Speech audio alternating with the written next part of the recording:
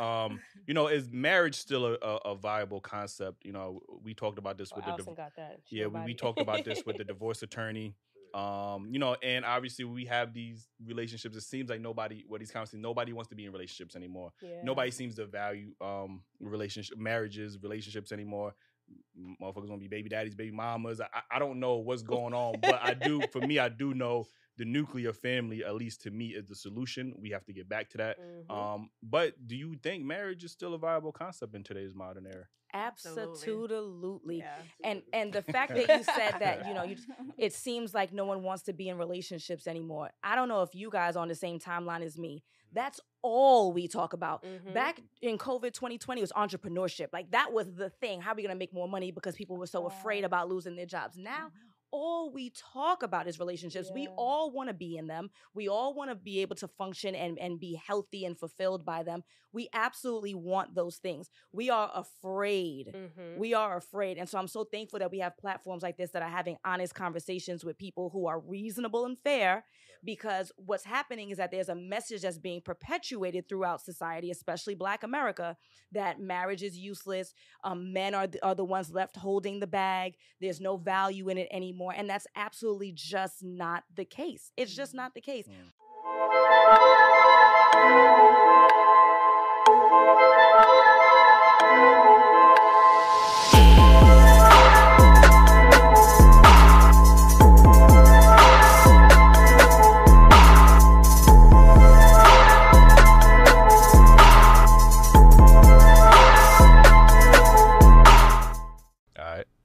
Welcome back to another episode of Daily Rap Up Crew. No Booker, but I go by the name of Eli. As always, we got Ace with us. Yes, indeed. To wrap up, you know, it's hot because we fire. And on this note, shout out to Maya. We was talking about, you know. He used to go to shout out to Maya. She used to 24, pull up on the what show. She could, key, she like, could still get it. You know what I mean? Mhm. she is great. She's Asian graceful. Graceful. Black that is. black don't crack unless you smoke it. Then Yeah, I mean, different. Like, I mean, so- anyway, man, we got some special guests in the building. Um, let them know where they can follow you at. Yes, absolutely. My name is Allison, certified dating and relationship coach, and you can find me at Align with Allison. oh, Eli need some help. My name is Patricia. You can find me at Patricia RJL4 on Instagram. Mhm. And I'm Cassandra. I'm a life and relationship coach and a men's advocate. And you can find me on Instagram at Ask Miss Cassandra. Okay. Hey guys, I'm Nicole Glass, and you can find me at Affirmations for Black Men. Mhm. Mm. Listen, before we get into these topics, make sure you hit that like button, subscribe if you're not already subscribed. Hit that notification bell, man, because I really don't be on y'all enough about the notification bell. Y'all need to stay up to Mhm. date with everything that we got dropping. Join the second YouTube channel, because we got two YouTube channels right now. Daily Rap Up Crew Clips. Um, that's going to be all the short form content, the shorts, all of that good stuff, man. We're trying to separate the channels. That way it's not too crowded, overcrowded for y'all. Um, what else we missing? Join the membership, join the Patreon, and oh, I was going to point at you. You ain't got no merch on. What's up? I mean, it's under the hoodie. like- Oh, it's under the hoodie. Get the merch, man. Daily hard Rapper to take Crew, off, that man. like, you know what I mean? And listen to the podcast audio. No, there's a lot of plugs. We got to Mhm. get them out there. Like, podcast audio every Tuesday. We need y'all to listen to the audio because that's very important to these advertisers. They want to know y'all listening to the audio. You know what I mean? So make sure y'all tune in every Tuesday. We drop that. Let me get to this first topic, right? Um, and since we got Nicole on the show, um, and I want to explain this because I did see your um your TikTok, your the algorithm got to me somehow, and I know you do affirmations um specifically for Black men, and um I want to say I appreciate you doing that because when I seen it, it did make me feel some type of way because that was like the first time we talking on the show. Black men are not used to hearing those type of affirmations. We usually get the, you know, y'all ain't shit, y'all monsters, y'all cheat, y'all abuse. Like we just hear the worst of the worst about black men. And you know, you have a TikTok dedicated, Instagram, this whole platform dedicated to affirmations. How important is affirmations, not just for black men, but just to speak life into each other as black men and black women? Yeah, I think it's extremely important because it allows us to reprogram our minds and our beliefs about ourselves and each other. If we're hearing so much programming, so much music, we don't control the music industry, right? So the money and the dollars is going towards the music that makes us feel a certain type of way about ourselves and going Mhm. towards a certain narrative. So if we're telling ourselves a different narrative, a different story, we're able to believe differently about ourselves. And it's like an act of self love. How you talk about yourself is really important because it's how you feel about others around you. Uh-huh.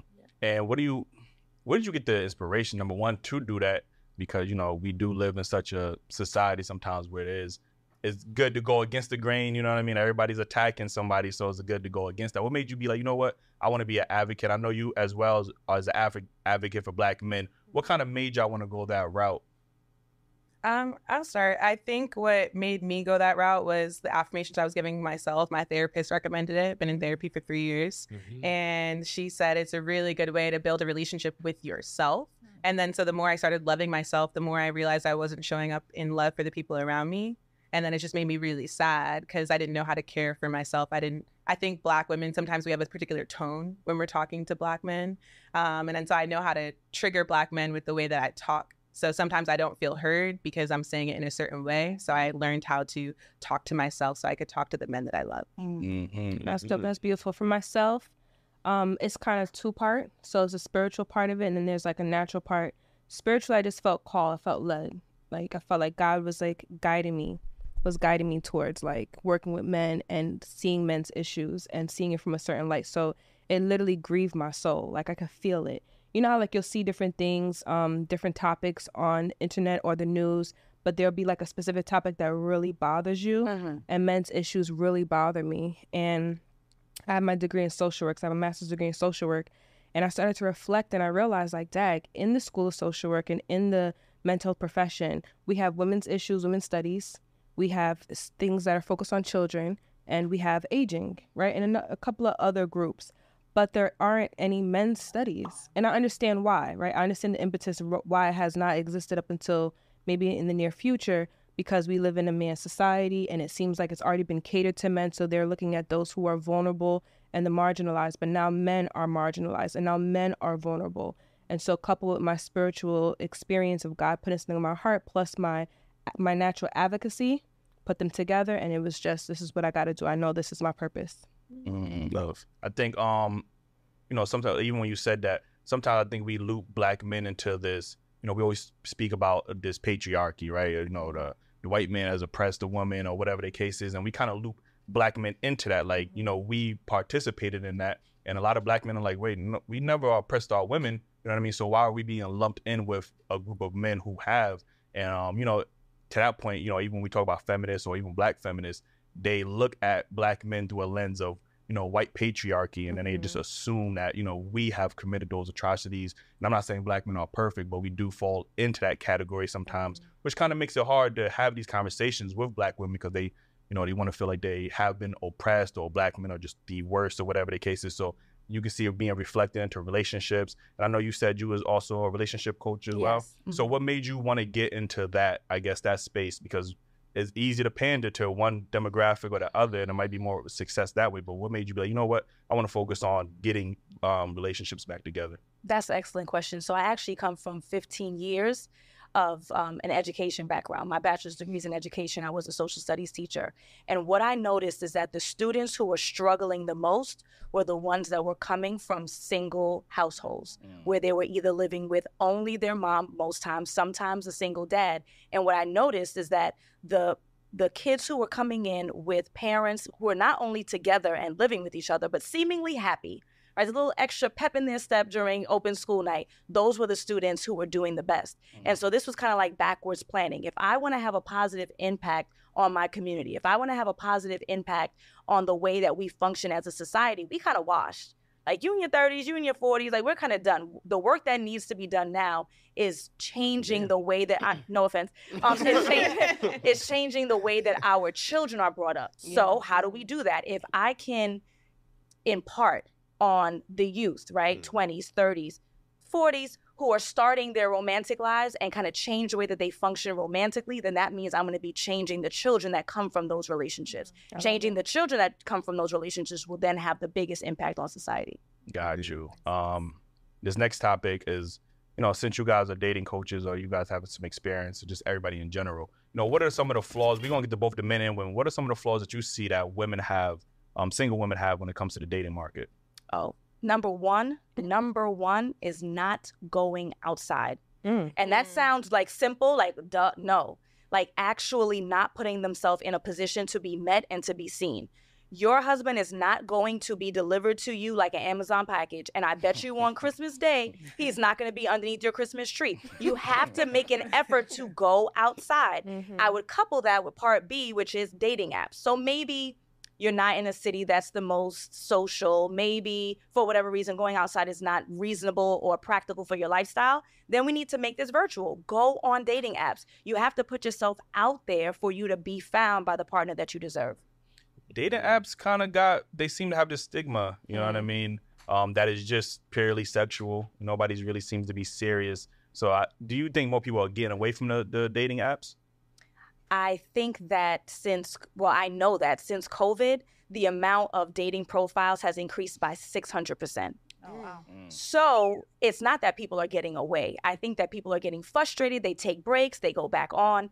Um, I know that there's a lot of negative conversation. I think quietly people are then reactivating those profiles and they're still swiping though. So yes, there is definitely a negative connotation mm-hmm. attached to dating apps. So people are on it and people are meeting and they're getting engaged and they're getting married and they're starting yeah. families. And folks are too quiet about that. And that's why sometimes you see those reels that go viral that says, I met my husband on Bumble. Because we're so accustomed to hearing the negative, we need to start talking about the positive.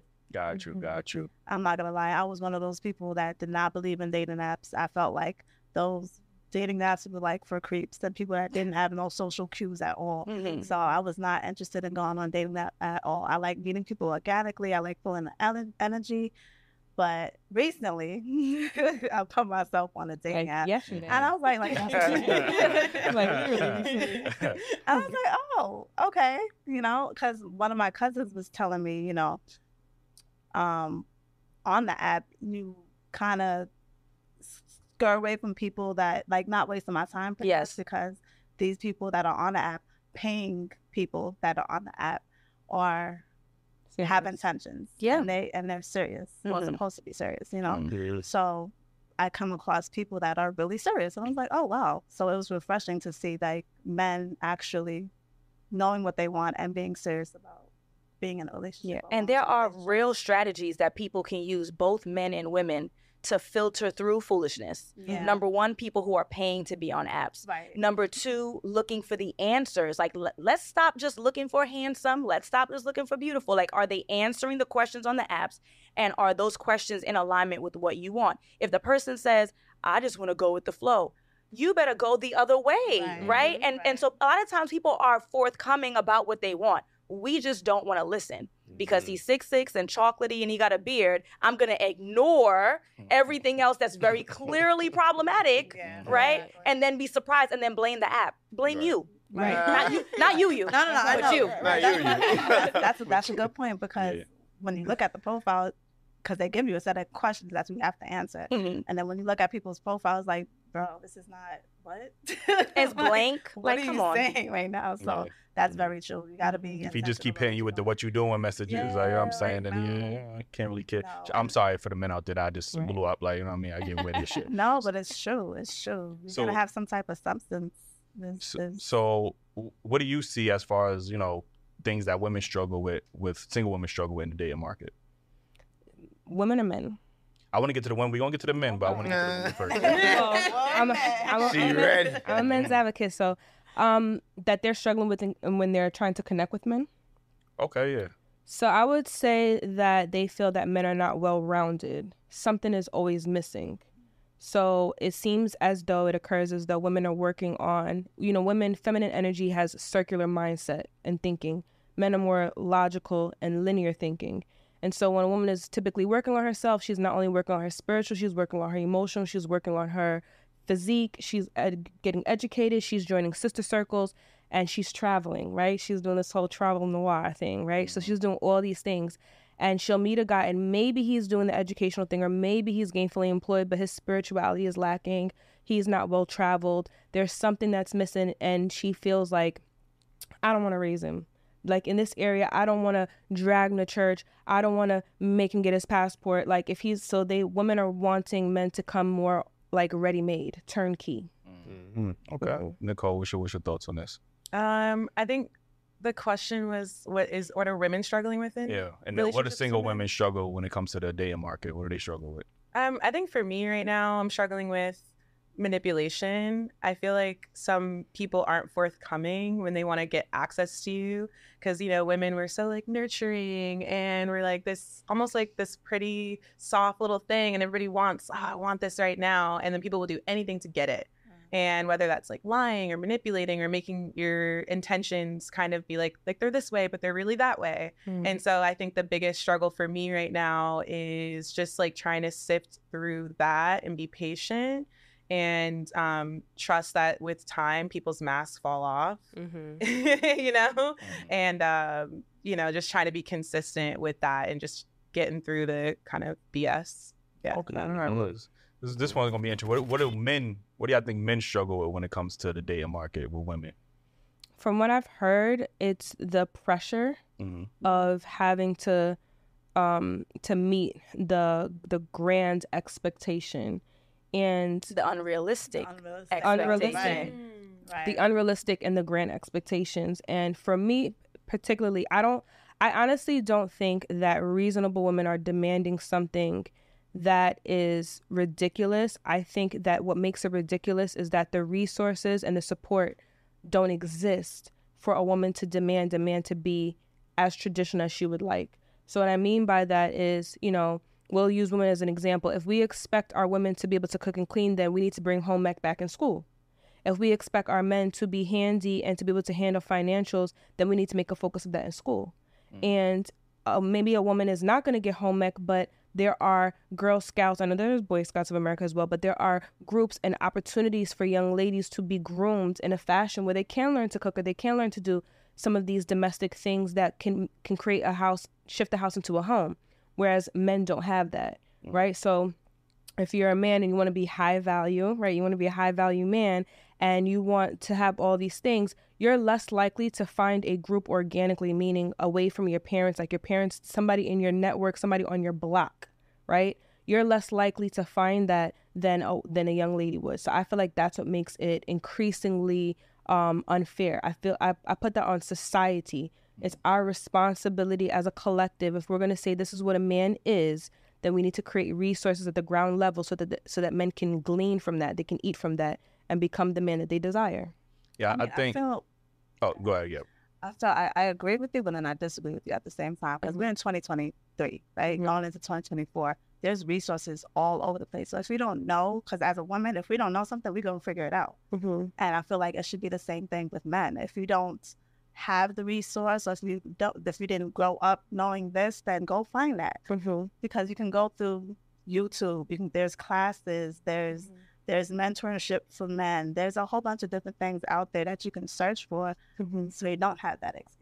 I don't think I- it's at I the same skill. Yeah, I think, and I, I I get where you're coming from, but being a man and looking at the resources, I'm gonna be honest with you. There's not as many resources available to the young black men and black boys as there are to black sports. women. Like you know what I mean? Mm-hmm. And um, you know, even when we try to look up for our businesses, the specific loans, loans. grants, um, just for black men, there's rarely any. There's none. But when you type in, take see out black any. men and put black women, there's a whole Yeah. list of those motherfuckers. That's a fact. And you know, even when it comes to the workforce, you know, sometimes, and I'm not saying this is in a negative way, but sometimes the employer might hire that woman because it's looked at more as a diversity hire than that man that's who equally is as qualified. But let me get the woman because it'll go towards my quota or whatever the case is. Like, you know, so I'm saying that there is certain disadvantages that men have to face, and I'm not saying that's an excuse, Yeah. but it is something that we do have to. I you remember know, when I was looking up loans for um for our business, and I was talking to one of my friends that worked at a bank, and he was telling me, "Yeah, I might want to consider getting a female calls and make it easy for you." Like I was like, "Damn, like you can't real. get nothing like just us." Like it's tough. And I think as a woman, too, me being a, a coach, there are certain privileges that I have as a woman that make it really hard for me to understand what men go through because I'm walking and I don't even recognize the privileges that I have. And they mm. really actually exist. It, it, it happens in focus groups. It happens when, you know, not just in coaching, like when I do my one on ones, more so like when I'm doing group focus groups and I'm intentional about uh, retrieving information about men's experiences. And when there's a collective response, like the entire group of men are nodding in agreement, I'm the only one looking there like, really, this exists? It's mind blowing. Like, I remember one time I had a focus group, and one of the guys said that his biggest challenge with women is that he feels that women are ungrateful. And I'm mm. thinking mm. that's his experience Right. until I looked on the Zoom, right? Because it was everybody's during the experience. pandemic, and everybody's like, mm-hmm, "Yeah, like, Amen. like, like, like, like, like, like, you know, somebody said the sky was blue. Like, it was very natural. Right. It, it didn't even grieve them. It didn't bother them. It wasn't like an uproar. There wasn't something that they wanted to discuss and get into and to delve into. Mm. I was the one that wanted to delve into it because I had not heard this before, or, or it didn't, it didn't, it didn't like click. Because if I have multiple, you know, one on ones or group, and, and a guy says it, I'm not thinking like, well, I heard the last three gentlemen that I coached say the same thing. It doesn't happen like that. So when I asked him for his feedback and he helped me to understand, it's just like I give my girl a lot of grace. But when it's my, if I do the same thing that my girl does, it's World War Three. But let me tell you, Cassandra, I don't think that that's exclusive for men or women. I think one of the biggest issues is that we keep dividing the sexes and Yeah. we really have very similar experiences. My group chat, they call me All Lives Alley because all I do is talk about nope, women experience that, nope, men experience that. Mm. Women will tell you the same thing. Men Yeah. are ungrateful. I mm-hmm. wash his clothes. I take care of his kid. I carried his kid. I did, did, did. I fixed his credit. I bought him a new car. We all have the same complaints. We have the same complaints. I think the issue is is that because we've become so divisive as a society, Yeah. and I think even strategically amongst black men and black women, that we think that it's the other side that has the problem and not us. Just as you just said that it, it didn't click to you like some of the the the grace that we're given as women. I'm sure the guys. A conversation I grace had with my husband. Sure. I said, yo, when I walk down the street at night, I'm taking my keys and I'm putting it through my fingers, waiting for somebody to walk up on me so I can, right? He can walk through the streets at night with no Regular. concern. I'm mm-hmm. sure men are not concerned about getting raped when they go to come home from the club or covering their drink so that no one puts a roofie in there. We all have things that we are worried about, that we're concerned about, that the other doesn't. Correct. So again, it's more about realizing that we're both struggling in some way, Mhm. and then how can we meet halfway so we can build a better society, a better community, versus who has it worse off. Mhm. Right. I agree. So what do- what do you see um as far as the struggles that some single men have when it comes to the dating market? Oh man, it's plentiful. So uh, the, no, it, it is a struggle. So one thing, and I talk to Cassandra about this all the time, the unrealistic expectations, where women will have a list that is extensive of what they require and desire out of a gentleman, and they either don't have those things or can't match them. Mm-hmm. Now, of course, everything won't be an exact match. It's yin and yang for a reason. Mm-hmm. But compliment. Let's be realistic. There was a woman, which is why I I mentioned the six foot chocolate with the beard. Mm-hmm. So I have a post that says something about be the list. And she says, Well, I can't be the list because my list has six foot chocolate with the beard. Mm-hmm. And I said, Okay, this is what I want you to think about. Obviously, you're not going to be an exact replica, right? This is what I want you to think about. I want you to think about how desirable the six foot chocolate with the beard is. Are you just as desirable as that? Whatever society might mark that is.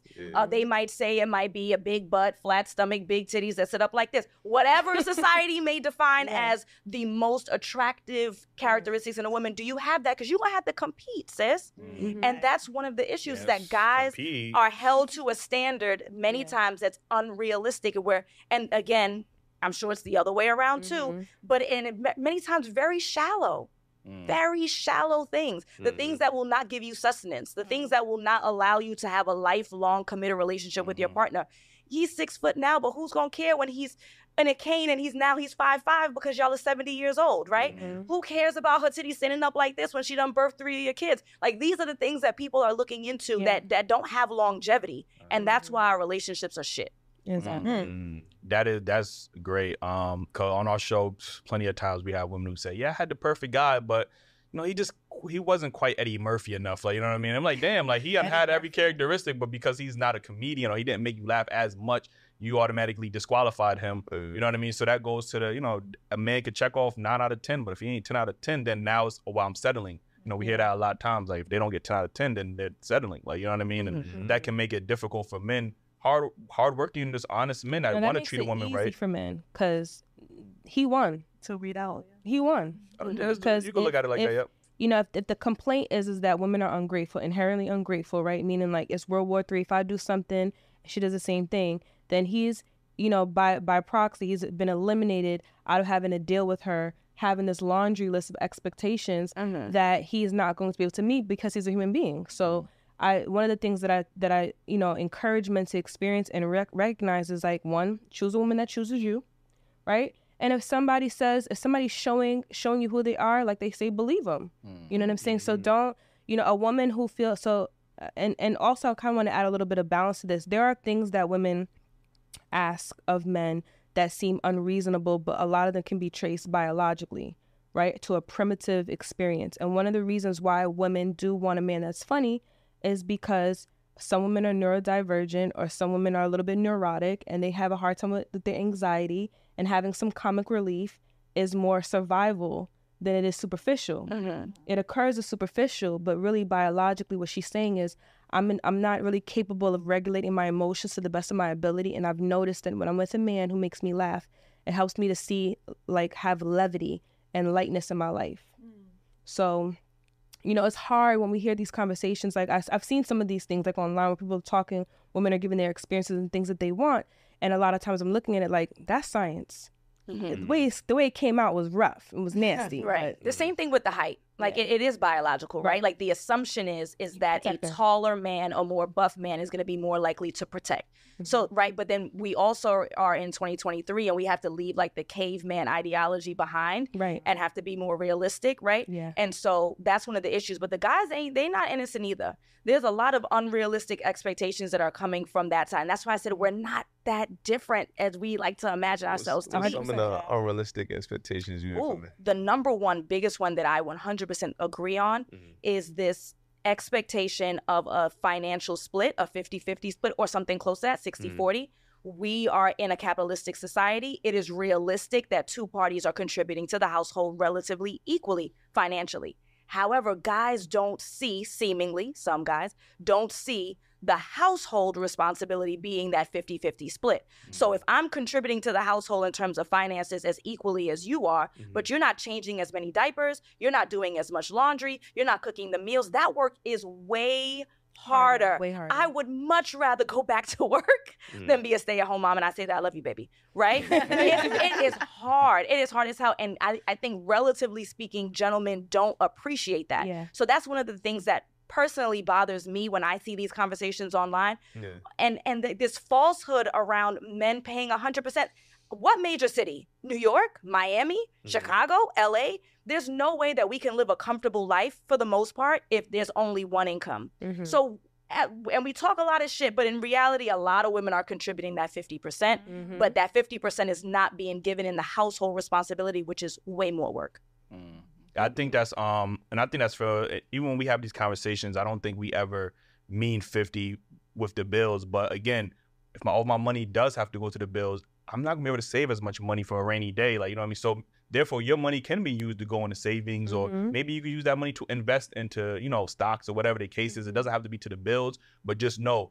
I'm I'm paying all the bills. I'm not gonna have money to go on vacations. Like you know what I mean. That there's not that much leftover money I'm gonna have to just do X, Y, and Z. So therefore, I you can think- use your money for other things. I don't even like- think that's a big argument, though. I Mm. think the bigger argument that we hear is that for the gentlemen who are in a position to pay 100% and still live a comfortable lifestyle, they Yeah. think that that's enough.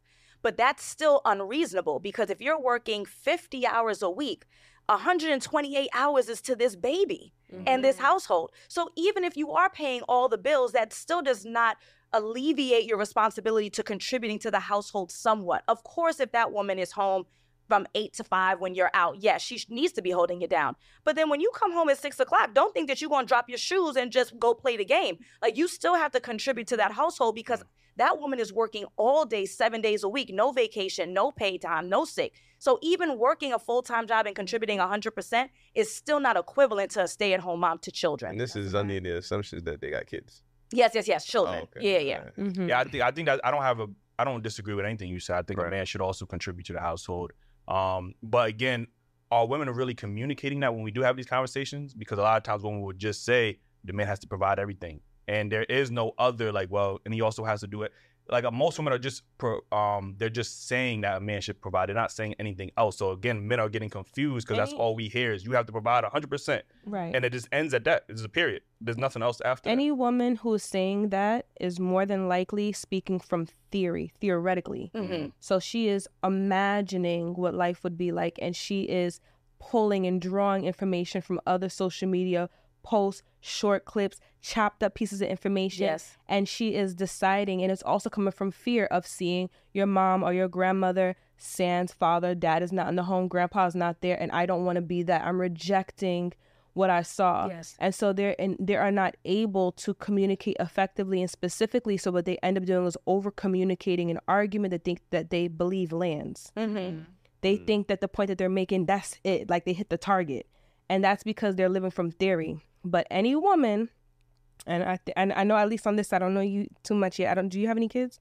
Not yet. Not yet. Okay. Any woman that has when once you once you have that baby and you recognize what it takes to keep that baby just alive, Mm-hmm. forget educated and enriched, Mm. just to keep this baby alive for that first year, it changes in the entire dialogue.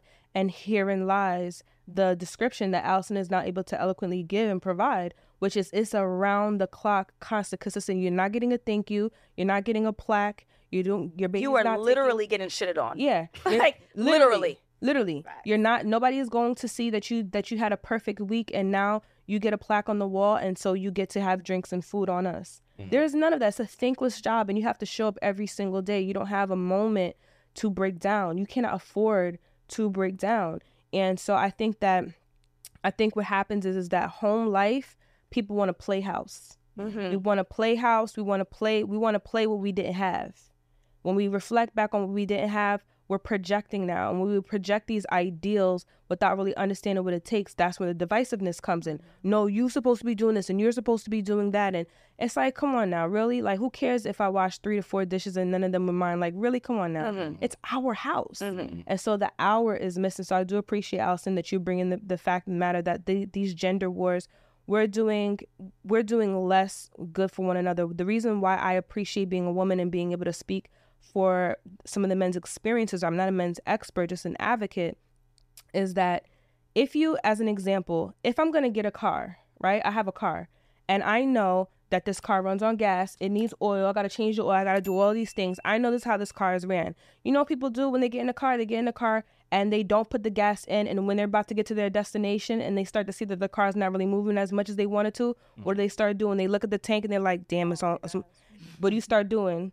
You start banging the car. Come on, baby. Don't feel on me. Yeah. You start talking to the car. You don't talk to yourself. You don't be like, Cassandra, have some accountability. You should put some gas in your car. No, you end up projecting the frustration on the car to blame the car for what it's naturally not able to do because you did not serve it. Mm. And so when you're in a relationship and you're looking at the woman that you have or the man that you have and now they're run down because you didn't take the time to recognize you need gasoline, I need water, right?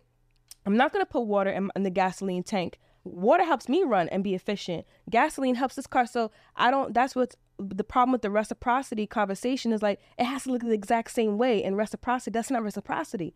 Reciprocity means I'm able to identify and observe and, need. and, and give you what you need because that's what you need. I'm not going to judge you. I'm not going to question you. I'm not going to argue. So if women need a little bit of tenderness and a little, you know what I'm saying? A little Uh-huh. bit of softness.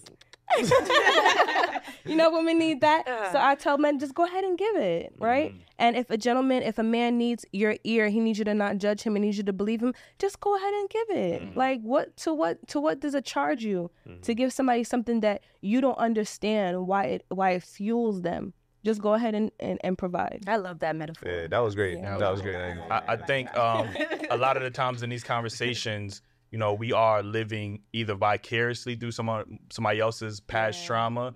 Um, a lot of us never even experienced the trauma that we'd be talking about. Yes. And we want to, you know, we're, we're speaking from a fearmonger aspect. yeah. Um, and you know, even with the new Color Purple movie that's coming out, Mhm. um, I've never been a fan of Color Purple or any movies like that because it does You seem watch Color very, Purple? huh? You watch Color Purple? Yeah, I seen most of it. Like, yeah, I seen some of it. Most of But it, or you watch I've. I've never finished the whole thing because I don't like watching This movies like no that because you know it just doesn't. It shows a level of dysfunction within the black community, which was at the time is true, but when you keep recycling these same content, uh, like slave movies. yeah, it's idea. like that. Then it comes Yeah. now. It's like, oh man, I seen how she was living. I'm no way I'm gonna put, put myself in that situation. Mm-hmm. And now you don't have a tendency to value family no more because you Mm-hmm. view a man or a woman might either utilize you or take advantage of you. Now we just like, you know what? I'd rather be single. I don't need a man. I don't need a woman. And that's where these conversations become so divisive. that part Um, and this this next topic I do want to talk about because it was it's pretty interesting to me. Um, is unconditional love a real expectation for men, or is just that is that like a romantic illusion? And I and I'll and I'll set this right. Um, recently we went to um a black men's brunch, right? It was Mhm. um it was hosted by 500 um, men making a difference, and the um the mayor um Eric Adams, and the amount of people that we seen that watched our show, black men that we seen that watched our show, and we're just like, you know what? I appreciate what y'all doing because I feel like there's a platform for me to be heard. Like, you know what I mean? And we don't never disrespect our guests, but you know, we are able to articulate ourselves well in a way where black men be like, damn, you know what? I did have that same experience, or whatever the case is, right? So, you know, obviously you go back into the fear monger, you know, we always hear this Chris Rock quote, you know, only a woman, uh, woman, children, and dogs are loved unconditionally. Men are only loved based off if they can provide. You know what I mean? And so that got a lot of men saying, "Well, damn, is is unconditional love something I could really obtain, or is that just a fallacy?" Well, what's your thoughts on that? And I want to start here with Nicole. Mm-hmm. Um, I mean, I think it's healthy that love comes with conditions. Mhm. Like I have boundaries. I have the condition that you don't abuse me, right? Right. I have the condition that you respect me, and I think that's really healthy. Um, and I can love Black people unconditionally, but not, you know, have a relationship with all Black people or have a friendship with all Black people. Mm. Um, but I can still have an unconditional love in my heart for us. And so I think personally it's healthy. And I think that women are not loved unconditionally. I think that there's a condition with the women in your life that they respect you. There's a condition with the, the women in your life that if you are getting married, that you do bear this child, right? And so there's conditions and expectations placed upon all of us. Um, but I don't know, maybe I'm wrong or you guys have a different opinion. No, you're absolutely right. All all love is conditioned, e- even even for dogs. Um, as uh, as no, right, right. So like as as a new mom, um, if I had a dog that did a little snip, snip, snip at my baby, that dog is out the door. So this whole idea of oh, only women, babies, or and children and dogs is absolutely not true. I think all love is conditioned. It should be conditioned, and if that were the case, then no woman would ever get left. Right? They would never be divorced Right. they would never um, w- which is initiated by the husband in that particular case they would never be broken up with if that was the case that women are the only ones who are unconditionally loved then we would never have it where men would leave their woman Mhm. men leave women all the time all the time. men put women in positions. But you don't know if he loved that woman unconditionally though. That's right, the point. right that's the point so so the line is is that only women children and dogs are loved No, unconditionally but, but what I'm saying is a man can leave a woman, but you don't know if he loved her unconditionally. That's what I'm saying. Like he might have never loved her. Like he might have never loved her. He le- Mhm. that's why he left her. Mhm. You know what I'm saying? But I'm saying if he did love her Yeah. unconditionally, she could do whatever she want. A dog, if you love a dog unconditionally, he could eat your sneakers, rip up the couch, all this, and you taking it. You know what Let I me ask you: Have you I'm- met a man that loved a woman unconditionally? Have I met a man that? Okay. Outside, outside of my mother, like I don't, I haven't met. There's- I've loved women unconditionally, yeah, but obviously I'm not with them no There- more. Like you know what I'm saying? There are but, but how but Uh, right yeah. but why so why aren't the two of you together you and one woman that you loved unconditionally why the two of you aren't together Um, the one that I loved I unconditionally. my alarm. Yeah, I did. She definitely said that. Um, the one woman I, I, well, a couple of women I loved unconditionally. They didn't want a relationship. They was they wanted to focus on their career. And okay so they they were the ones who ended it each and every time yeah, for sure. So let me so let me ask you this: Because you love somebody unconditionally, do you have to be with them? well why would you leave what Because would cause you, you can to leave you can love somebody, but not but come to the self realization that you can't be with them. so that maybe that then may, that's a that, condition that that's that would How's still that? support that would still support what Chris Rock is stating. So even if if whatever Chris Rock is saying that is occurring where women and children and dogs are taking being taken care of, but men are not being cared for in that same way. Mm. Maybe for that particular man who was not being cared for any longer, he was still loved, but something was getting in the way of him being able to experience the love that he wanted because it was causing uh, like unfair harm, right? So in the case like Chris Rock admitted that he was cheating on his wife, right? And so their relationship dissolved. Now, unconditionally speaking, he should be able to slang his dangling anywhere and his Yes. wife still stay. right Right. But that is causing a lot of harm, trauma. So she just she decides to dissolve the marriage. Right. And so he might feel like, well, this is I'm not loved unconditionally because there shouldn't be any conditions to the love that you have for me. Mm-hmm. Right? So then ne- either way that you that you you slice it on one or the other, it still supports the fact that either someone is going to leave or mm-hmm. someone is not going to be doing the loving. Right? So it- like is that unconditional love? Did he unconditionally love his wife when he continued to cheat on her? Hmm. I mean, why, why not?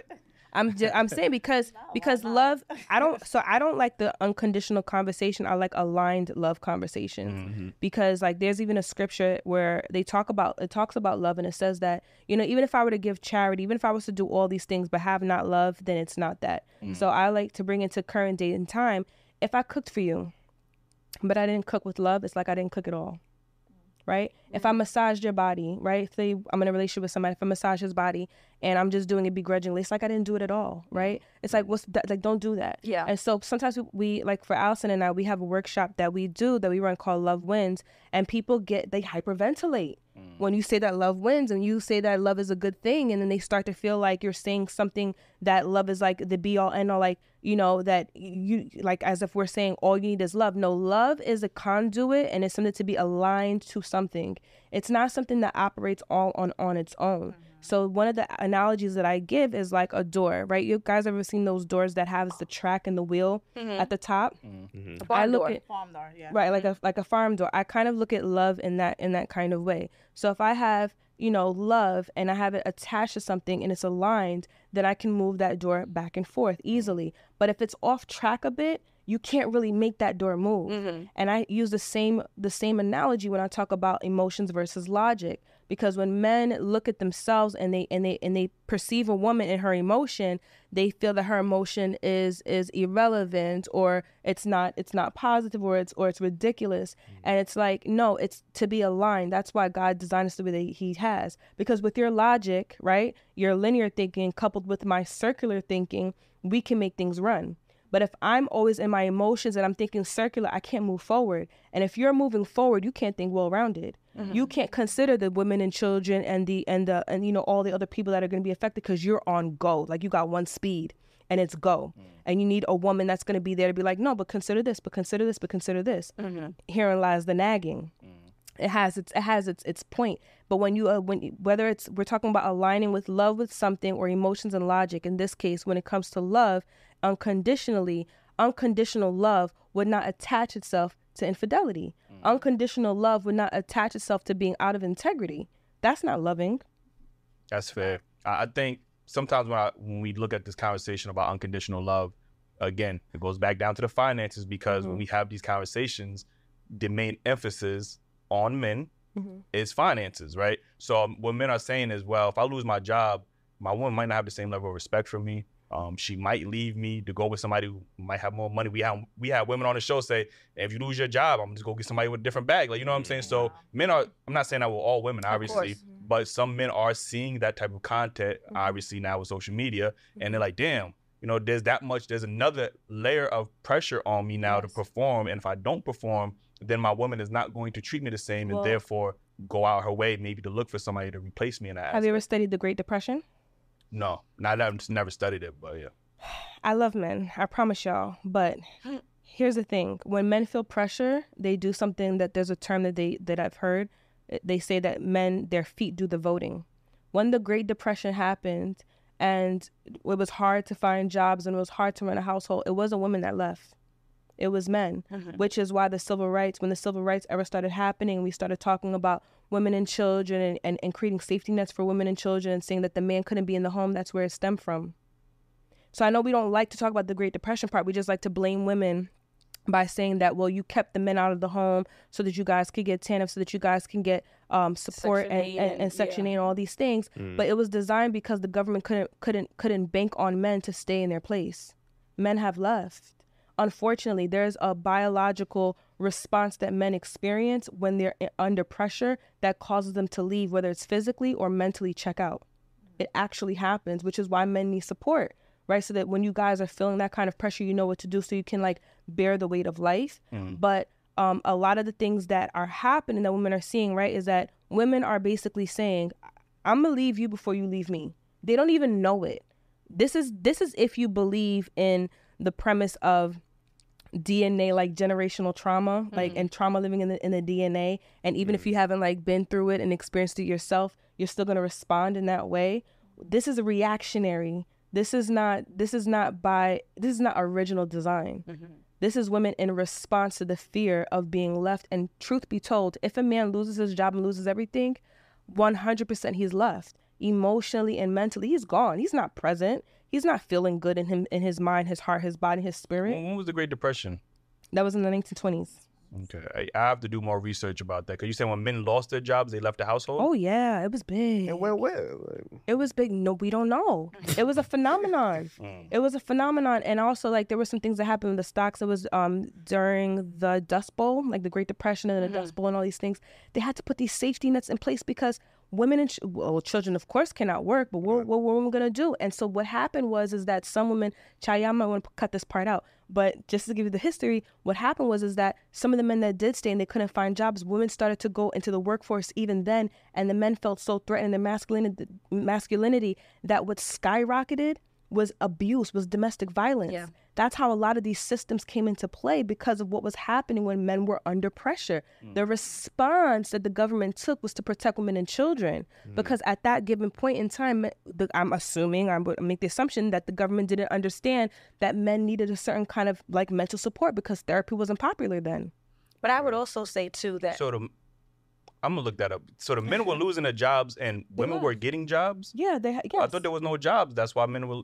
So how do the women getting the jobs? Like, they started to do domestic things. They started. This is we're talking about over time. We're not talking about immediately, right? So Mhm. I'm condensing a very long piece of history in like a five minute bit. Mhm. But they started to do domestic things, trading, doing things, cooking, anything in the home with other people who may have had money. But there were men who were jumping out of windows, committing suicide, physically exiting a relationship, whether like unaliving themselves or they were, you know, they they just physically left. Like they, we do not know where they went. We do not know if they're still around or not. Mm-hmm. We do not. Some some men have actually left, and when things started to turn over, they went somewhere else. They actually started a relationship, new with an family whole- elsewhere. Yes, whole carpetbaggers. Yeah, Yeah. new family. What's it This is A carpet.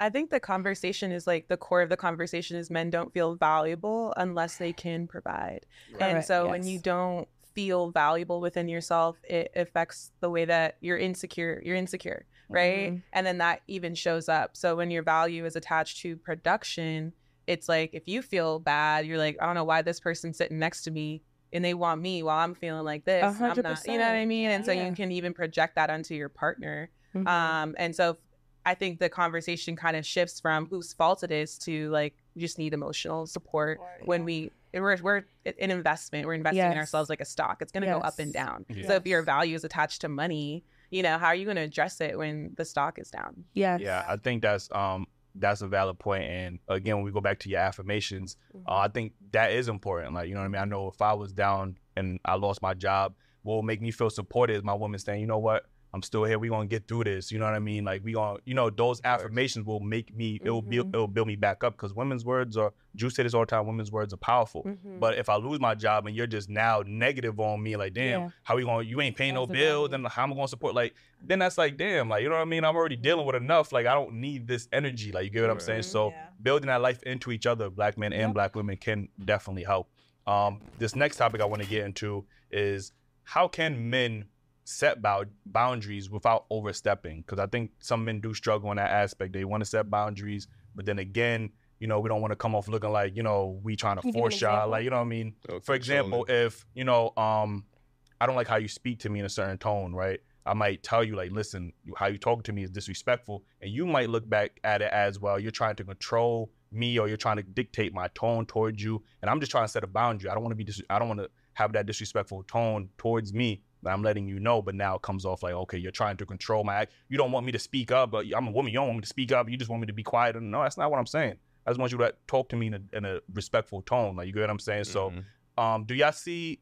Well, how can men establish those type of boundaries within a um, dynamic of a relationship without overstepping necessarily? You just communicate like you just did. Mhm. I think that's like men that I've dated. s- Oftentimes they shut down. Right. um, and so they don't communicate at all because they have a hard time understanding how they're feeling. And so sometimes like again like we can be each other's biggest trigger if i'm Mm. talking to you like how your mom used to talk to you and she used to make you feel like that. And you're not expressing that to me you're just shutting down you're just ignoring me for weeks or months. And you're just like and then you try to you know what i mean? When things settle down you're like hey let's communicate. And that's not healthy. So i think understanding yourself first is a big one but oftentimes black men won't center themselves enough to to understand themselves because they're oftentimes like geared towards focusing on other people and their value is outside of themselves. And so if you don't understand yourself and how you're feeling and your emotions and shame and tone and everything that you just communicated, It's a lot of people fine. have a hard time communicating that. Mhm, Yeah. Um, right. But if you can communicate that in a healthy way, I don't see why that's not within itself setting a boundary. Gotcha. yeah. Yeah. I know. I I know a big one we had on the show was um should your your your boyfriend or husband have a say in what you wear outside, Mm-hmm. right? And a lot of women say no, not at all, right? I don't mind that. You say I, I don't mind. I don't mind. No. Don't See, mind. and that's actually my point. I, I Mhm. hate to take the mic from you for just a second, but I Mhm. think that we are making like sweeping indictments of whole people, like Mhm. billions of people based on three or four clips off of YouTube or Instagram.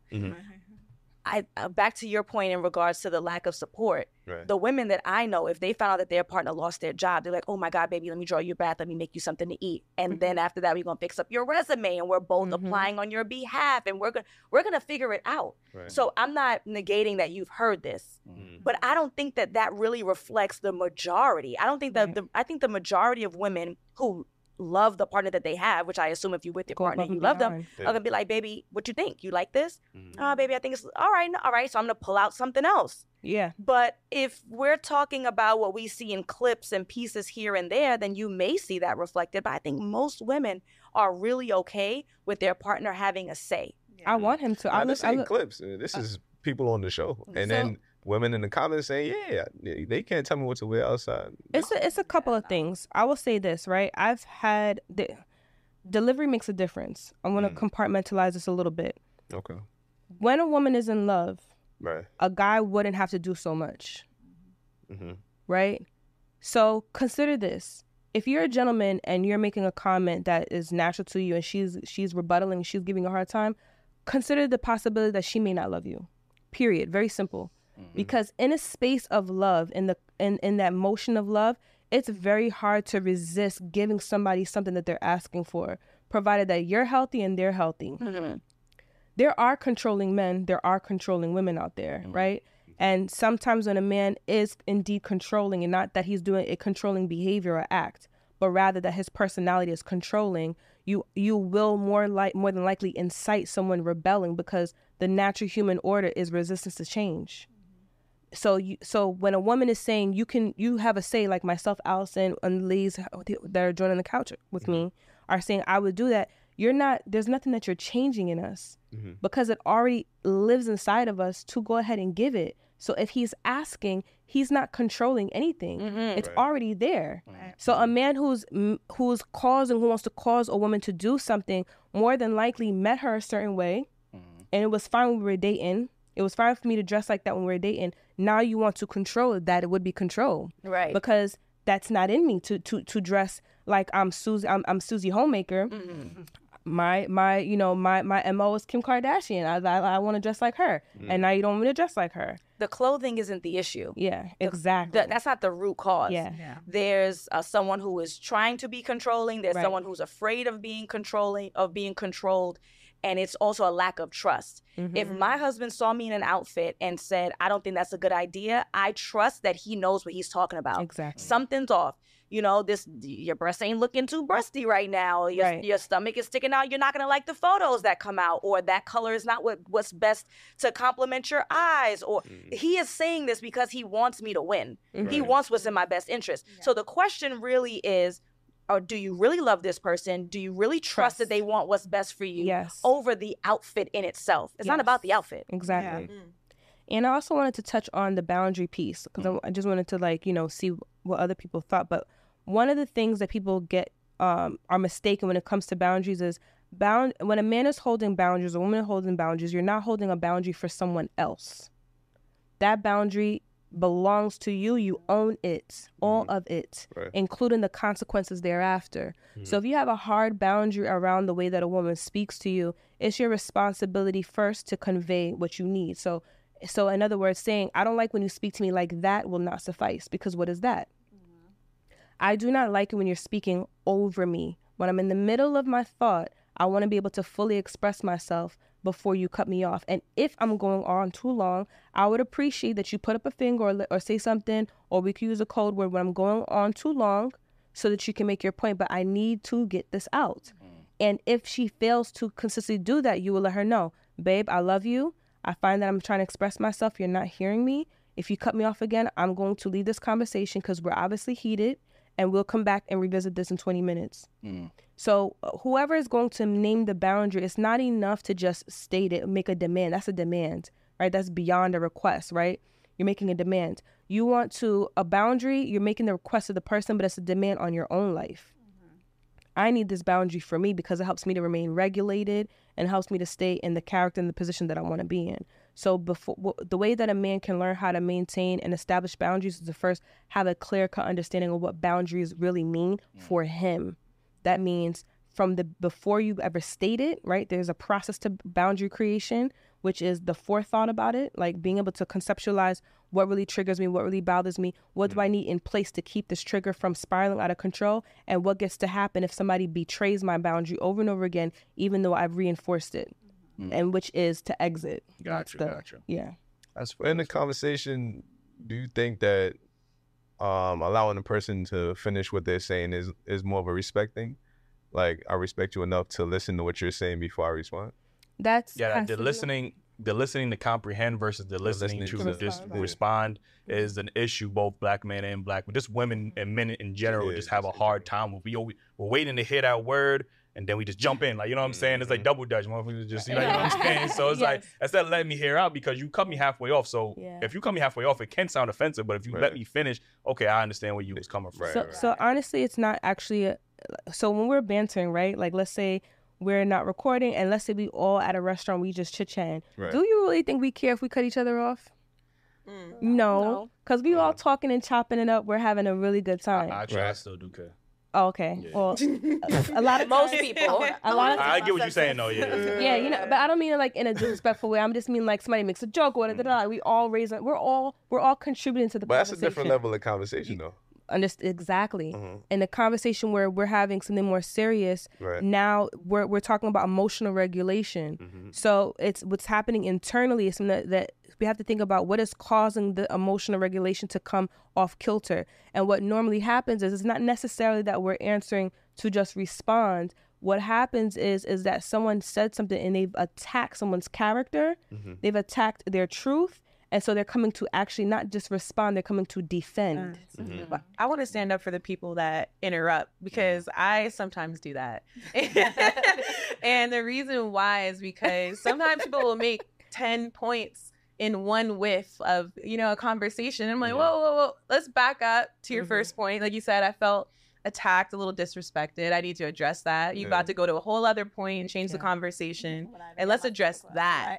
You know what I'm saying? But I don't. I don't think that's interrupting though, because if you making ten points, by the time you finish what you're saying, I'll remember what point two and three was. So we, Right. I think I think you should make a point. All right, let's talk about this, and then move on to the, what else. What else is your grievance? You know what I mean? I think sometimes that can be, like you said, it is triggering. But again, sometimes when we get into these conversations, women are much more emotional. You know what I mean? Mm-hmm. So Mhm. they might interpret something as, you know, oh wow, I'm in my feelings right now. It's that time of the month right now, or whatever the mm-hmm. case is. So I might look at That's it as fair. an attack when it really was never an attack to begin fair. with. Like you get what I'm mm-hmm. saying? So now I have to now I have to negate how you felt to what I said instead of you just listening to comprehend to what I said. Like now I, you made me feel a certain way. Now you negated everything I just said because you felt a certain way, and I'm like, that's not the point I'm trying to get at. You get what I'm saying? My so guy Troy said that in one of his clips. I remember he said he said the exact same thing, something similar, which is that if I'm expressing myself to my wife, or I don't think he was talking about his wife in this case, but he was just giving a generalization, Mm-hmm. and then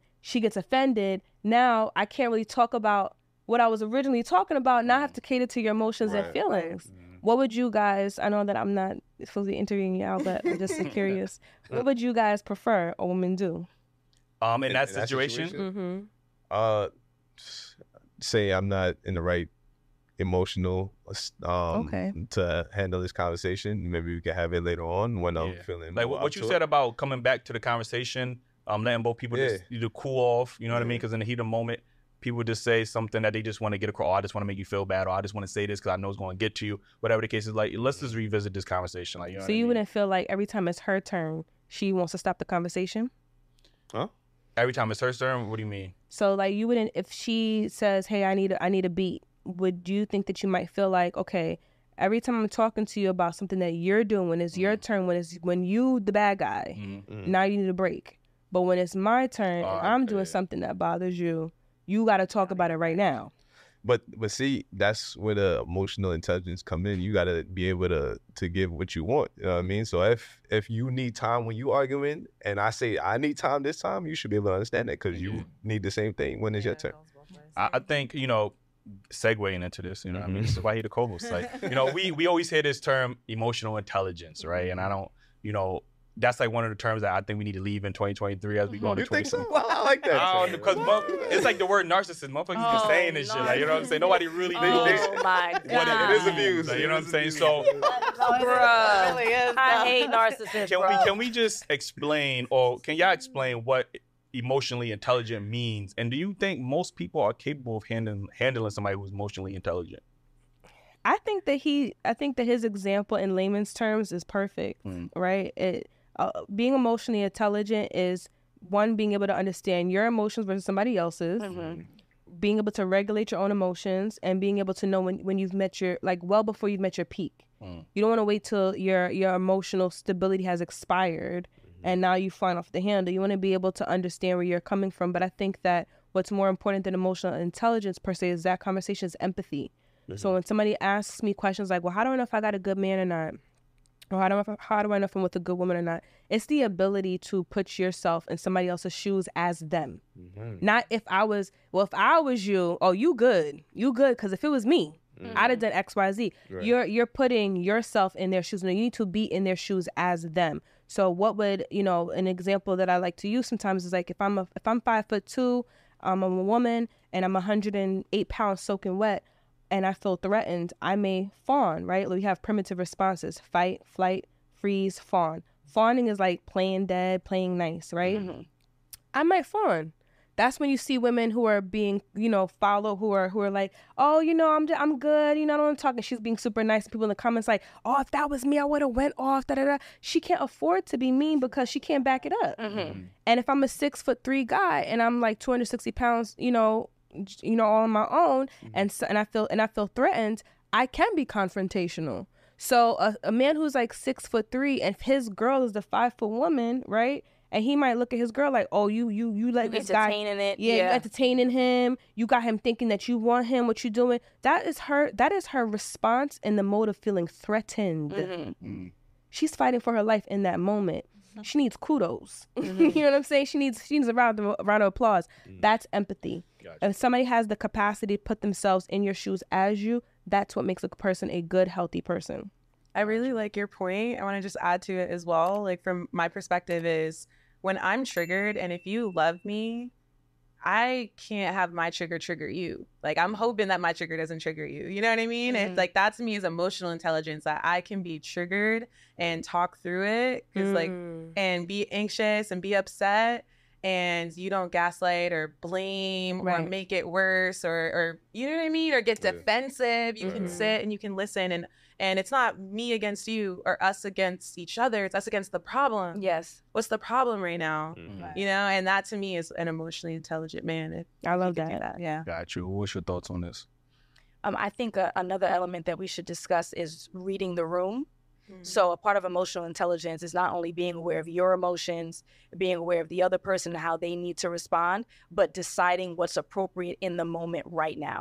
So, I need to just read the room. Like, is this a time that I need to bring up the fact that you were rude to my mom when she came to visit for Thanksgiving? Mm-hmm. But I know that you just had a tough day at work. Like, being able to read the room and decide when is the appropriate time to bring up XYZ is also an Mhm. important part of emotional intelligence. I like Mhm. that. I think um, you know, sometimes when we have these conversations, um, we always stress emotionally intelligence, right? But you know, sometimes when men are expressing themselves or just, you know, women have vouched for men to be more expressive of their emotions. We Right. remember I remember a couple of years ago we was very adamant about, you know, men are very stoic, they don't show their Mhm. emotions. And now Um, sassy. now that I was ready to say that now that men are showing their emotions, and I'm not even saying in a sassy way, but sometimes that's just automatically perceived. If I feel Yes. some type of way, oh, you're sassy because a real man wouldn't express. You know, that's why we have the term being a bigger man. We don't ever have to be the bigger woman. It's like right. you know, we do. Men have some men have experienced emotional abuse from their women, Of and you know, we just have to either eat it sometimes, or we just when we do step up or speak up, now it's oh you shouldn't be going back and forth with a woman or why'd you block her? That's sassy. It's like I'm trying to Mm-hmm. protect my peace at the end of the day. So maybe Yeah. blocking her was the best move on my end Mm-hmm. Mhm. because I didn't want to have to say something that I was going to regret. You get what I'm saying? Mm-hmm. Mhm. So I think sometimes when men are being uh, more emotional or just intelligent about their emotions, it some women can perceive it as oh well he's just being sassy or whatever the case is. So you know I think we do struggle with that, and because we have single parented households, a lot of us, or we came from single parent households, we haven't seen that male and female dynamic of two adults in a relationship being able to express themselves emotionally and resolve you know conflict resolved out of that. You know what I mean? So a lot of times we're just you know living vicariously through somebody else. So, you know, Yeah. unfortunately. So that's one of the things that makes it hard being a man because there's like two parts to it on on one aspect of it again like I, I do like having these biological conversations around what it looks like when the protector is being vulnerable right so sometimes what i say what an example that i give is like if there's a fire and the firefighter comes but he throws me in front of it like he's like scared too i'm like i'm gonna be like what you doing you're scared of the flames Mhm. like what you over here you know like you you you you ducking with me you know or a cop does it and so and what biologically would your attraction level to him be course. decreased? decrease Okay, yeah. Yeah. Alright, yeah. are you kidding me if a Mhm. cop if guns start popping off pop pop pop and the, and the cop is like bringing me on top of him like you know help a brother out Use I'll use be a like, shield, like yeah. What? Yes. give me a badge give me a badge give me, give you know Yes. I, I, like I, i'm done you know and so when biologically right um Mhm. on a pr- i would say primitive caveman Mhm. primitive level Right. not elevated on a primitive level it does occur as a threat Mm. because we're not anticipating a man being vulnerable. This is why dating right now is really hard because we're no longer attracted to traditional primitive relationships. We want a transcendent one. Mhm. Now we're spiritual. Now we're talking about feminine and masculine energy. Mm-hmm. You know, now now I need to be well traveled. We've added to the repertoire of what it means to have a healthy relationship, right? And so on the on the other end of that is again is that spiritual. So my question would be to a gentleman, if a gentleman, if a grown man, let me preface it by saying grown man tells me that that's how a, a lady is responding, my response to him is is she a woman or is she a grown female? Mhm. Because all of the women I know Mhm. are unbothered by a man expressing himself. So eh, most of the times when guys are talking about their experiences, I'm bewildered because I'm like, where are y'all finding these women at? And that's what I was gonna say. Vetting. I think the Mhm. vetting process for both men and women are poor. Mm. And so again, we're looking at that that surface level, and we're not having in-depth conversations, and we're not finding out whether or not someone has been through a traumatic childhood and have they gone through therapy and have they done the work. It's I'm cute, you cute, we're gonna be cute together. And then you're surprised when you get so much pushback because she's dressing in a way that you find is too sexy, or you're surprised when um when the gentleman is giving you a hard time when he's dating a whole bunch of women, but you got with the six six basketball player, what you thought you was gonna get, right? Like we have to do a better job of vetting and asking the right questions, paying attention to behaviors, taking our time, like you mentioned earlier, Nicole, before we jump into the bed and Yeah. before we jump into committed relationships with folks, because most people are not psychotic. Like they really cannot have this facade of of someone that they are not for too long. They their, their truths will show. It's just a matter of are you willing to wait it out to see. Right. that part. part. And then That's when part. does it become boundary setting and then selfish? Mm. Like in, when blocking, like you just mentioned blocking. Like I definitely used blocking before, Mhm. but a part of me is back and forth with that because I'm just like, mm, am I also not caring about the other person's emotions and having a problem communicating myself, you know, and setting a clear, you know, verbal boundary? Mm. Or is this person triggering me in the moment? Do I just need to step away from it or do I just block this person in my life? Mhm. And so I'm not sure about your specific situation, but I just wanted to I mean, it, it varies. Nah, he's King know. Block. I'm the- I'm the That's- that's King you Block right there. Like, King I'm Block. King That's King Block. I am Block. the I am King Block. I don't, I don't entertain. Yeah, I don't entertain them. You know, sometimes if I see that the conversation is just, you know, you sometimes you want to prove your point so badly that you just is just spewing nonsense. Like, you know, what I mean, I can't get to you at this point, so Mhm. I'll just rather protect my peace. So you know what I'm Mhm. saying? I'm like, you know what? Let me not say something before I end up on the shade room, and they're like, oh, what, what would you say? Like, you know what I'm saying? Like, I, I'm just like, you know what? A Whatever. screenshot. Right, you know what I mean. So, um, before we get up out of here, we got I want to get to two more um topics, um, and I want to start here with Nicole. Um, can a man who is non-religious um still be an effective leader for his family? I did I did see you speak uh, um speak about this topic before, as far as a man being a leader and how he's you know grounded in re- God and religion. um, things of that nature. Can somebody who is not religious still be a leader for his family?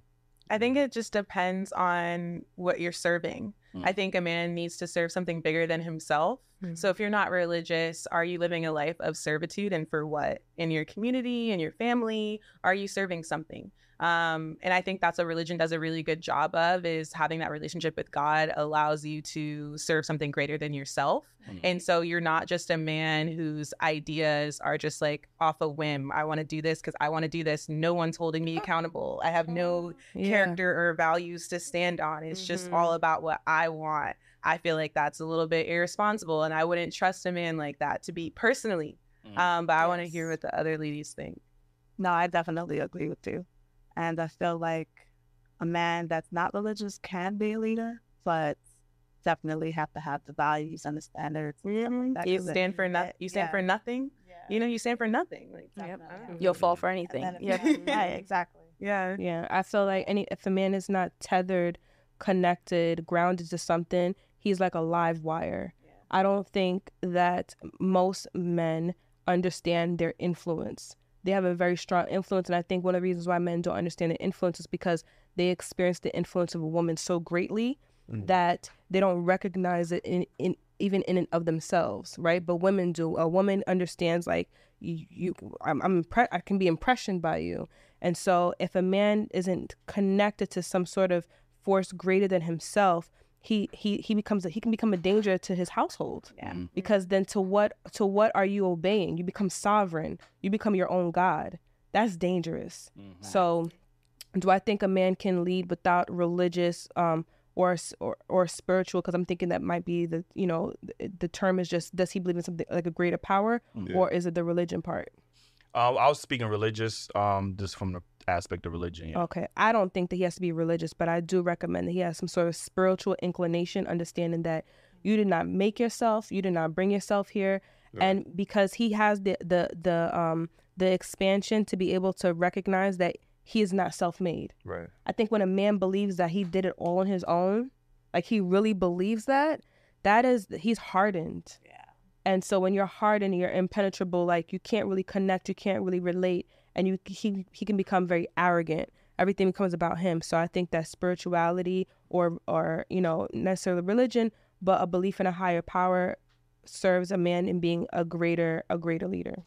Gotcha. Mhm. What's your thoughts on this? My thought is is that he cannot lead his household if his wife or partner is religious. I'll tell you that Mm. Because when you have two people who are in a romantic relationship building a family and one of the fundamental beliefs are not in alignment, that relationship will not work. Yeah. So if that woman is a religious woman and that man is not, first of all, they shouldn't be dating. But if it escalated beyond that, now they have a household, they're going to be in constant conflict every Sunday. It's going to be a Mhm. constant conflict about what Christmas looks like. It's an issue Mhm. that should not be one. yeah. If you fact. are a religious person, you should Mhm. not date people who are not. It's going to be a constant Mhm. struggle for the duration of that relationship. And I suspect that relationship will not last. Yeah. Amen. And I'm I'm I'm like a I'm a woman of God, so like I'm I get excited to be led by a man who's led by God. Totally. Because if you're living your life for God in purpose, right? What does that look like? It looks like you're serving something greater than yourself, and it's like I serve you, I take care of you, I'm taking care of your purpose, I'm taking care of God's purpose. Yes. So like if I get excited to do that,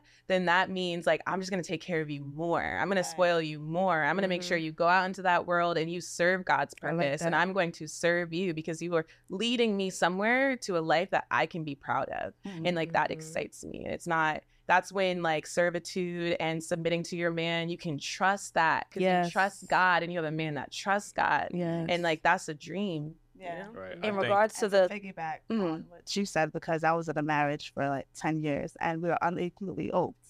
And when I say you don't Everything. think about little things that when you have children and then the whole different dynamic of everything, and then when you have children, it's like, oh wow, like this really matters. Yeah. like having a man that believes in God and has the same values, and you guys are aligning to the same place, it matters. And I would never date outside of that. I think, um, and I know me and Keem is on the same boat on this, and I don't, you know, if that's your preference, I, I don't have nothing to say against it. Mm. Um, but as somebody who I don't find myself. I don't subscribe to a religion. I am. I believe I'm much more spiritual than I am religious because I could hear you know all forms of religion and have and relate to it somehow. Like you know what I'm saying. So I don't subscribe to a religious um, belief, but I still think you know my beliefs are very family oriented. Um, you know, me and Ace, we share the same beliefs. Um, you know, even though we don't have a you know religion that we subscribe to, I don't think somehow you know that doesn't make us any less of a leader. And I get I get y'all perspectives and everything. Like I'm not taking that away from y'all, but just as people who I have spoken to other men who don't necessarily uh, subscribe to a religion, um, but they do believe in a higher purpose, a higher power. And um, you know, when they hear conversations like that, it, it can be triggering because it sounds like, damn, you know, you're not you're not a leader. You can't be. You can never be a leader. And you know what I'm saying? I'm like, damn, all of that, like you know what I'm saying. But you know, Yeah. you know, I do appreciate everybody's opinion when they when they say that. Ace, you have something to say? Yeah, I just think it. Like you always say, like the two biggest things that you got to agree on in a relationship is politics and religion. Uh, Mm-hmm. So I just think that if if y'all not on the same page, that the chances of it working is is very low.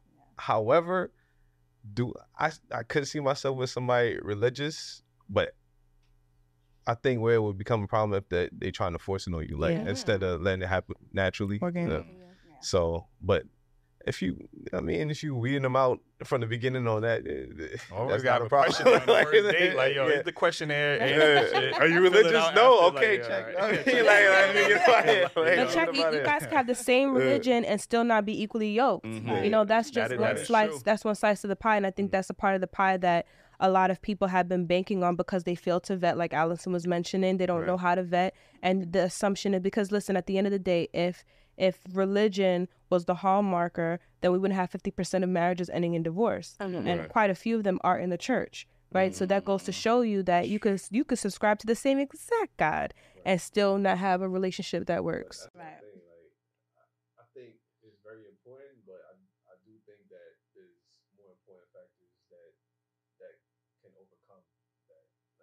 it's could work. Mhm. Right. It could it could work. Listen, I'm tired of y'all pastors out ditching. No, I'm joking.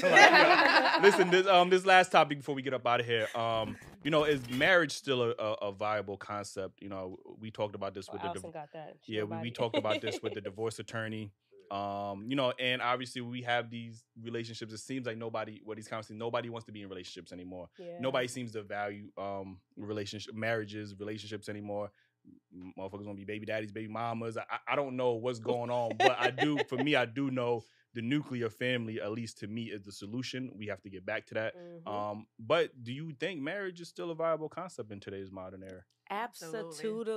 Yeah. And and the fact that you said that, you know, you it seems like no one wants to be in relationships anymore. I don't know if you guys are on the same timeline as me.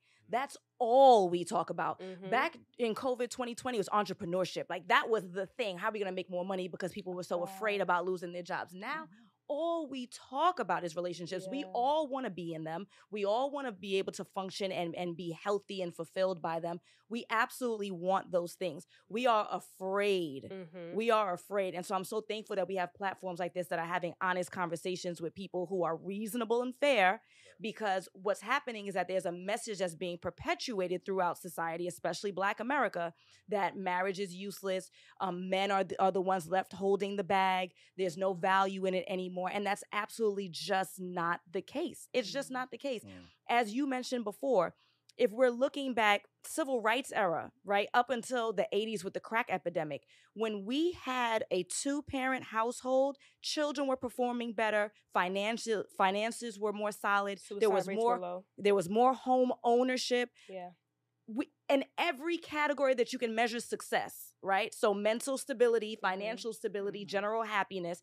When we had a nuclear family, we were doing better as a society. Mhm. Protection of women was, you know, we, we had communities, so Yeah. our women didn't feel like they were less protected um, than Yes. they do obviously today. I think so Busta Rhymes he said it in a podcast recently where he was talking about how back in the day, even if you saw a mother like from the on the block, like somebody she's carrying her bags, everybody got to put their spliff out, get her bags, walk her to her, her to her building, up the stairs. They're not letting her hold a thing because because that nucleus was still there. Even if maybe you didn't, even if your parents weren't together, you know a bunch of people on the block whose parents were together. Yes. You know what the expectation was in front of a woman, right? Which Mhm. is to not curse, to not smoke, you know what I'm saying, help her with her bags, and that she could trust that this gentleman, it wasn't at all odd. Mhm. Nowadays, if a man says, Hey, what's up, ma? It's a threat. Yeah, you can't walk me to my door. You're gonna know where I live. You're gonna try to bust through the door, right? We, we- there's no trust. There's no trust on on on in, in any scope. So 100 percent when men are in relationships, because when a man is in a relationship in a marriage, he's he's more than likely to go to the doctor, right? Like there's studies on this that show that they catch things a lot quicker, sooner, faster. Married men live longer. Married men are are healthier. Married men make more money. Make There was there money. was um a clip that was circulating about a gentleman who says that he puts on a wedding ring when he goes into interviews, corporate interviews, and and has meetings because married men are perceived as more stable. wow. It's a win across the board. But again, I'm about to do that shit. Right. Right, and- and- I'll be like, yeah, you know, I'm just Right, looking right, for a right, new right, job. right. like, you know what What color Like, your ring gonna be? Black or silver? Or gold? Huh? I said, what color Black, your ring is silver, going? gold. Right. What, what color your ring? I don't know what color should it be. Like, you know what I'm saying? Like, I need to know all the facts. Like, you know? right. So so absolutely healthy marriages. Mhm. Healthy emphasis on go. health because any of us could get married any day of the week. We could walk out right on Canal Street and we could pick up somebody. Right. It's not about getting married, it's getting married to the right person Mhm. that has a similar vision, who's gonna lead us not to hell, right? But in the right direction that we both decide is what we desire and require for ourselves and our future family. So yes, healthy marriages are the way for us to turn society around, period. Mhm. Mm, that is a fact. That's a good question. We met at Starbucks. we met us. We were 18. Um, may- maybe I was 17. He was 18. He was working at Starbucks, and uh, we met downtown Brooklyn. Bagged me, right? Um, but the thing that. is, is that um, I was staying here in New York. He was going away to college in California, and both of us had some insight, like this ain't gonna work. So it kind of just fizzled. We continued our friendship through Facebook, and then he DM'd me, right? In the DM. So when we think dating apps is it, I'll go down the Instagram, DMs, huh? Facebook, okay, like, LinkedIn. LinkedIn is an amazing LinkedIn. dating opportunity. Yeah, these people are already vetted. You Right. relatively know where they work. You know their real first and last name. It gives you a lot of insight that people don't really recognize. Any kind of space that allows you to meet people is a dating app or a dating Mm. opportunity. So you got to Mm. use it. I I never that. even thought about Wow. LinkedIn like that. You know, just to go back to what you said about women, you know, going out in public more and, and meeting men. You know, one of the issues that I'm hearing from men is that you know it is harder to approach women because they do have that guard up. You know what I mean? Mhm. They might have that resting bitch face. Like it makes it I very un- unapproachable. Y'all, sometimes y'all can be a little bit unapproachable. sorry like, in you know, unapproachable. y'all. Like you know what I mean? So that does make it a little bit more difficult. Or, you know, a lot of men have experienced a lot of rejection from our women where we just be like, man, you know what? I'm just she don't look like she want to be approached right now. Or I want to be perceived as a creep because, Yes. you know, Mhm. you know, we had an incident where somebody seen a, an attractive woman, and he gave her a compliment, hey, you look attractive, beautiful, and she just went off on a tangent on him. And he's like, yo, damn, it wasn't even like it wasn't like, yo, man, you look good. He it was a very respectful um way he approached her, and she was like, yo, I know I look good. I don't need you to tell me I look like, you know what I mean? So it was like, damn, all right, well, that's what I get for Yeah. shooting my shot. like, you know what I'm saying? So, you know, I do agree we do have to start meeting each other more in public, but being more open to, you know what I mean, being able to talk to each other. Like, I'm tired of going to parties and motherfuckers using their phone, don't want to dance, y'all don't want to communicate, y'all don't want to do Mhm. nothing. Like, you know what I mean? And crazy. club culture is another thing we have to talk about, but we Right. gonna say that for another show. crazy. Again, we appreciate y'all for being on the show. Again, let them know where they can follow you at. Yes, absolutely. Again, I'm Allison, certified dating and relationship coach, and you can find me at Align with Allison on every platform. I'm Patricia, and you can find me at Patricia RJL4 on Instagram. And I am Cassandra. I'm a life and relationship coach and a men's advocate. You can find me on Instagram at Ask Miss Cassandra. And I'm Nicole Glass. You can find me at Affirmations for Black Men and Nicole J. Glass on all platforms. Mm-hmm. I just want to say y'all four very beautiful and intelligent women. No offense to y'all husbands. I know I'm beautiful. You ain't gotta Right. tell me that. Right. My husband do that for me already. Show the ring, Mike. You can't talk. Can't do this. yeah, y'all dope, man. But um, again, if y'all enjoyed the conversation, hit that like button. Subscribe if y'all not already subscribed. Hit that notification bell. I know I was on y'all earlier. Y'all gotta be on that. Join the membership, please, man. The membership helps us. We on Patreon too. We got we got a lot of motherfucking shout outs, man. Like oh, goddamn, like Patreon, YouTube, hit that second channel. know what I mean, hit the merch. the merch. Okay. Oh my, my, yeah, logical Okay, feelings. We try to we try to promote that over here. Like you know what I mean, appreciate y'all.